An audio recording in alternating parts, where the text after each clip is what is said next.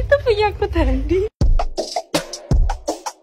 Kita awali dengan sarapan biar kita kuat menjalani hari-hari. Karena bakalan banyak banget kegiatan yang bakalan kita lakuin hari ini. Jadi kalau soal makan, kita itu udah disiapin sama ibunya. Nah, tugas kita harus mencuci piring setelah makan. Karena bakalan banyak kegiatan hari ini, aku minum susu protein supaya kenyang lebih lama dan lebih semangat menjalani hari-hari. By the way, protein aku ada yang travel size loh. Untuk kegiatan pertama hari ini, kita bakalan survei beberapa UMKM. Aku suka banget sama desa ini. Udaranya dingin, pemandangannya bagus, bersih, dan masyarakat di sini tuh sangat welcome sama kita. Dan kita juga siap banget buat bantu permasalahan-permasalahan mereka. Salah satunya produsen permen ini. Dalu UMKM mereka itu udah berjalan dengan baik, minatnya juga banyak. Tapi mereka sangat welcome untuk sama-sama saling bertukar ilmu. Bahkan uangnya kita dikasih buat cobain permen mereka. Setelah melakukan beberapa survei, eh gak sengaja kita nemuin di desa ini lagi ada festival gitu. Banyak banget permainan dan jajanan. Jadi ngingetin aku di masa kecil. Yes, jadi ini tuh festival kuda lumping. Aku tuh udah lama banget gak nonton ini. Terus itu kita balik ke Mondok makan untuk istirahat, makan dan sholat. Ini untuk menu makan siang hari ini. Jujur, aku selama KKN udah nggak ngitung kalori lagi. Cuman aku tetap makan di porsi yang masih wajar. Sebelum lanjut ke aktivitas selanjutnya, aku masukin kanan dulu. Karena beberapa daerah lipatan aku tuh gelap banget. Dan produk ini tuh bisa bantu mencerahkan lipatan dan bekas luka secara permanen. Habis si soma, kita lanjut ke balai desa buat ngelakuin gladi bersih. Karena bakalan ada salah satu rangkaian yang bakalan kita lakuin. Balai desa ini tuh deket banget sama pondokan kita, tinggal jalan kaki dan sampai deh